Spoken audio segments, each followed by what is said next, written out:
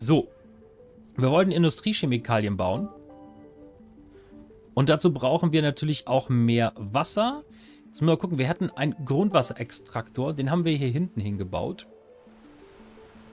Da bauen wir auch nochmal einen hin. Wasserrohr ist dran. Da hat man nämlich gerade ein kleines Versorgungsproblem. So, Industrie. Labor für Industriechemikalien. So, was brauchst du? Du brauchst Wasser und normale Chemikalien. Hier auf 20.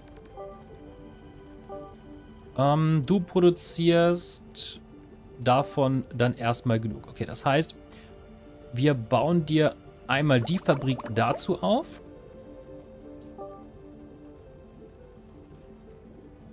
Und der braucht dann auch noch destilliertes Wasser. Das kriegen wir auch hin. Das ist einmal hier. Und der braucht dazu einen normalen Wasseranschluss. Das kriegen wir auch hin. Das ist Rohöl, Wasser. Wo haben wir denn hier ein Wassernetz? Ah, ist relativ weit weg, ne? Okay.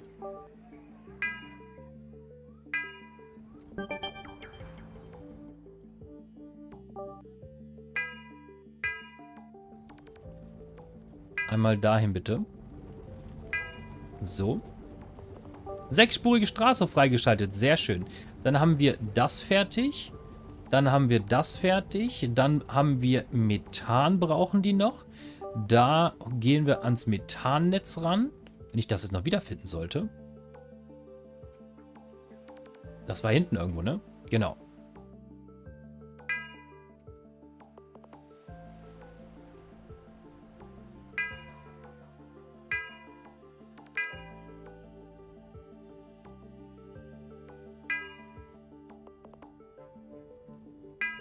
So. Okay, dann haben wir jetzt hoffentlich alles. Und jetzt gehen wir mal in die Produktion rein und schauen mal, ob wir hier irgendwo Probleme haben. Wasser ist immer noch ein bisschen wenig, das gucken wir uns gleich an. Aber ansonsten sieht das erstmal gut aus. Wichtig ist mir einfache Nahrung und der Kram, das sieht auch gut aus. Das ist so die Basis. Okay. Gut. Hallo Denim. 68. Hi, schön, dass du da bist. Guten Morgen. Keine Ahnung, guten Morgen. Hi. Gut, haben wir das auch. Jetzt sollte also das anlaufen, jetzt sollte er anlaufen und er sollte anlaufen, weil die jetzt hoffentlich, weil die jetzt hoffentlich alles haben. Ja, sehr schön. Jetzt brauchen wir noch eine Grundwasserpumpe.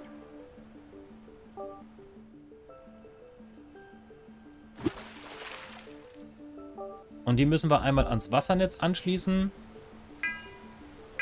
Und dann haben wir es. Ja, dann läuft's. Würde ich sagen.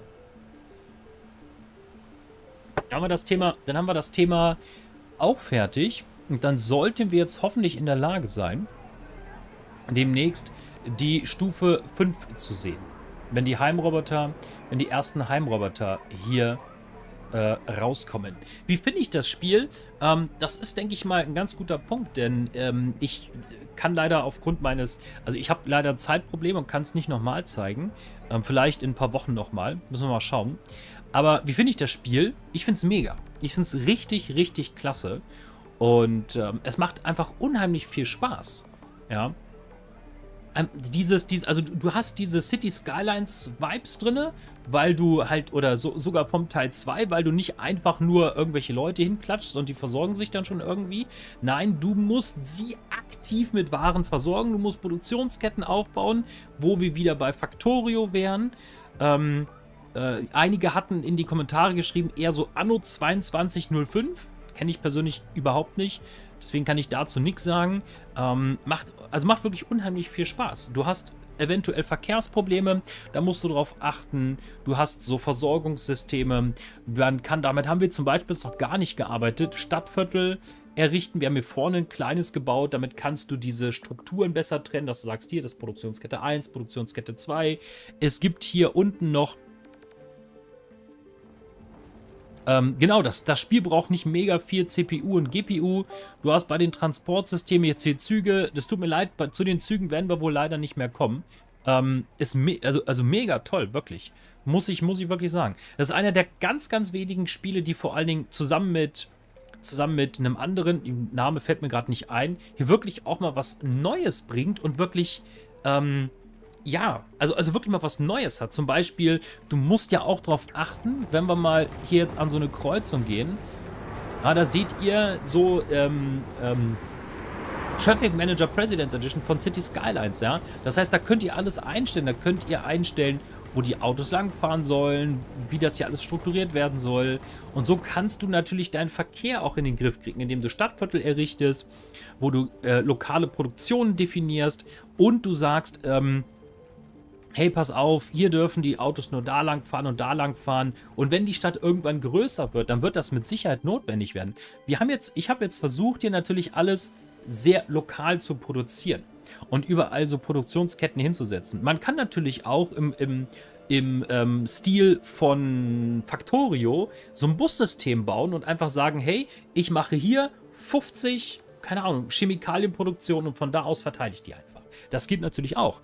Dann hast du ein ganz anderes Problem mit Verkehr ähm, und all sowas. Also ich, ich finde es wirklich toll. So, jetzt haben wir aber ein Problem, dass hier unten unsere unsere Dingsies ein bisschen kleiner werden. Und wir haben noch kein Habitat der Stufe 5, ne? Die Heimroboterproduktion läuft... Läuft jetzt an.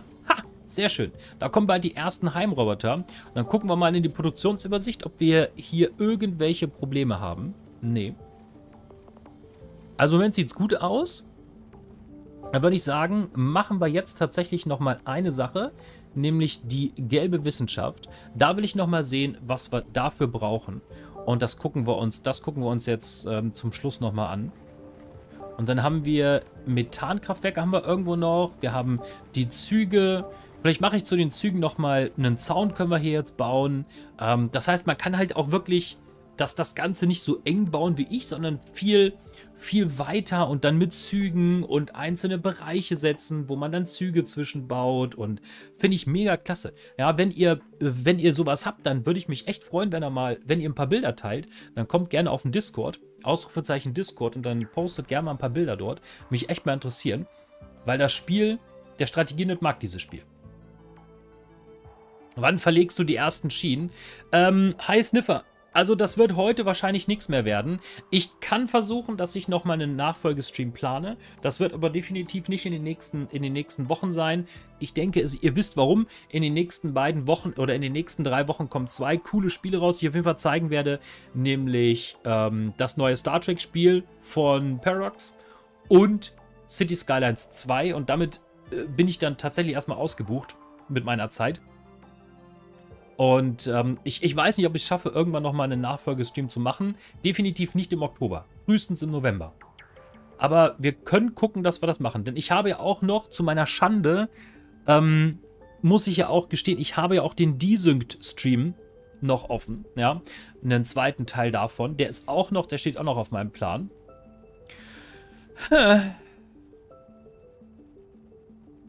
Das tut mir ganz schrecklich leid, aber ich, also heute nicht mehr und ich werde versuchen, das nochmal zu machen. Aber wie gesagt, die Sync steht ja auch noch auf meinem Plan. Aber das sehen wir dann. Ja! Und das wollte ich heute noch sehen. Die Nummer 5. So, da brauchen wir jetzt VR Entertainment. Ach, du grüne Neune. Und eine Schule.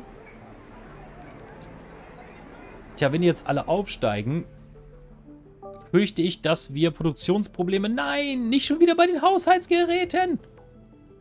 Warum zum Henker immer bei den Haushaltsgeräten? Müssen wir jetzt echt schon wieder Haushaltsgeräteindustrie nachbauen? Und ich wette, damit geht jetzt schon wieder irgendwas anderes aus. Ja, natürlich, die Mikrochips, beziehungsweise die Platinenproduktion. Und da haben wir jetzt, haben wir jetzt aber alles. Plastik. Ja, passt. Das werden wir gleich mal entsprechend erweitern. Nicht, dass wir da irgendwelche, irgendwelche Problemchen bekommen. Okay. Ansonsten, weiß ich nicht, so ein, so ein, ähm, das ist Heide, Witzka ist das groß. Alter Falter. Oh, ist das cool. Ich finde das, find das ja richtig cool, ne? Also das Spiel, ich mag das Spiel, wirklich. Okay. Aber zurück zum Thema. Wir wollten uns um die gelbe Wissenschaft kümmern. Wir können gleich mal gucken, dass wir diese Pixelgebäude und die Statuen machen. Moment. Brauchen wir noch irgendwas anderes? Solarzellen brauchen wir noch. Die großen Bagger, das wäre gut. Und dann haben wir die Methangärung. Das können wir auch nochmal erforschen. Und danach nehmen wir die beiden. So. Und dann sind wir damit durch. Machen wir mal auf volle Geschwindigkeit, denn wir wollen auf jeden Fall noch die gelbe Forschung uns angucken. Und das machen wir jetzt. Wo ist sie? Wo ist sie? Wo ist sie? Da. Und dazu brauchen wir... Eieieiei. Abfall, blaue Forschung, Methan und Motoren. Motoren? Du heilige Mutter Gottes. Die Motoren, das ist ja... Dazu brauchen wir Rohöl, Kupfer und Stahl. Ach, du grüne Neune, ey. Boah. Also ich kann euch sagen, da kommt eine ganze Menge noch auf uns zu. Und wie, wie viel brauchen wir davon? 100? 100?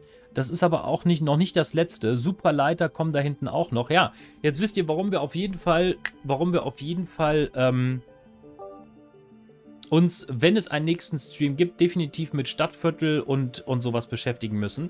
Denn wenn wir die Produktion jetzt nicht vernünftig trennen und strukturieren, dann haben wir da keine Chance. Dann geht uns das hier alles, dann, dann geht uns das hier baden. Und das ist halt das Coole an diesem Spiel. Muss ich ja sagen. So, jetzt haben wir da zu wenig Stahl.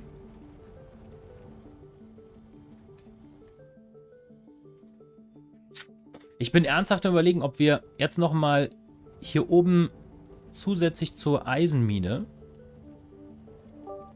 mm, ein Stahlwerk bauen. Da brauchen wir Kohlenstoff und Wasser für. Wasser können wir ans Netz anschließen, Kohlenstoff wird ein Problem. Kohlenstoffproduktion ist jetzt das Problem, das haben wir hier sehr lokal, ne?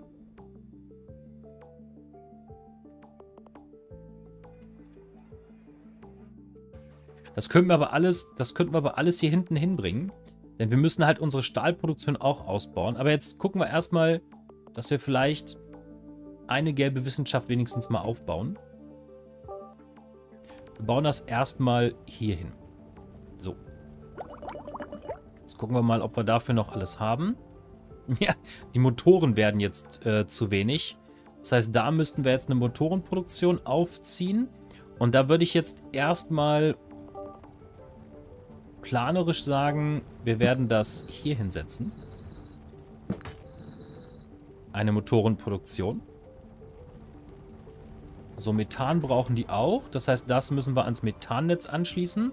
Das kriegen wir hin. Das sind ja nur, nur die Rohre.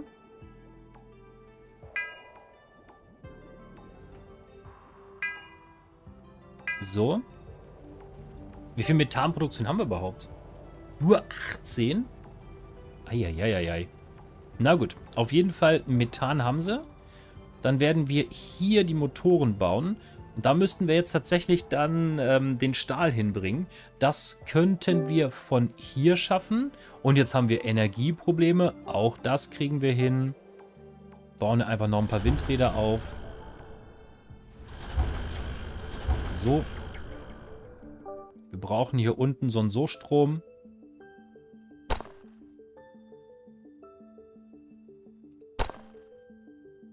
Und werden jetzt bitte einmal die normale Straße dahin bringen. Das heißt, da vorne kriegen wir den Stahl her für die Elektromotoren. Das kommt von dort. So, Stahl kriegen wir. Rohöl schließen wir auch ans Rohölnetz an. Das ist also auch kein Problem. Jetzt hoffe ich, jetzt haben wir genug Rohöl im System. Ja. Und jetzt brauchen wir natürlich noch mehr Kupferbarren. Da produzieren wir jetzt zu wenige von.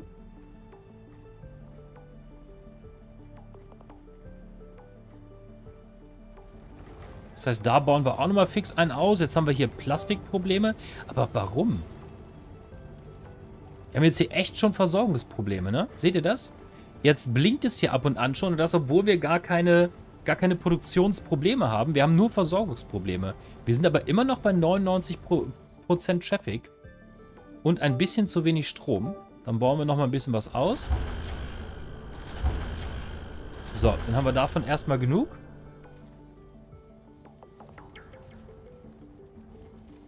Kupferproduktion. Der braucht zwei in 20 Sekunden, der produziert 2 in 10. Das heißt, wir können auf jeden Fall eine weitere Kupfermine, eine weitere Kupferproduktion damit betreiben. So, jetzt muss ich mal gucken, war das Low-Tech? Ja. Der produziert 1 in 5 Sekunden und der braucht 2 in 20. Das heißt, der eine dort sollte auch noch ausreichen. Okay, dann haben wir die Kupferproduktion erhöht. Und das wäre jetzt übrigens so ein Thema. Wir müssen jetzt auch noch weiter bei den Computern ähm, machen. Das ersparen wir uns jetzt tatsächlich mal. Und jetzt müssten wir auch Kupfererz. Na, wir brauchen echt doch mehr Kupfererz. Dann bauen wir da nochmal eine zweite Kupfermine hin. So, dann sollte das nämlich auch ausreichen. Okay, Solarzellen. Das ist gut. Das gibt uns hoffentlich mehr Energie.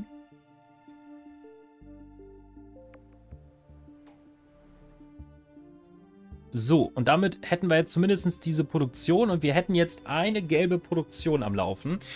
Und ähm, die braucht ein paar organische Abfälle. Die wiederum kriegen wir natürlich aus den Häusern hier. Und jetzt seht ihr schon, jetzt sind wir hier. Jetzt sind wir hier, dass, äh, jetzt sind wir an dem Punkt, dass wir. Ah, die Computerproduktion ist es bei plus minus null. Das heißt, da haben wir ein Problem. Wir haben ein paar Haushaltsgeräte. Hier sinken die Leute schon wieder, weil sie keine Computer bekommen. Also ihr seht, wir haben Habitat herabgestuft. Wir kriegen jetzt tatsächlich ähm, mit der Zeit immer mehr Probleme. Das sind halt auch zum Teil Versorgungsprobleme.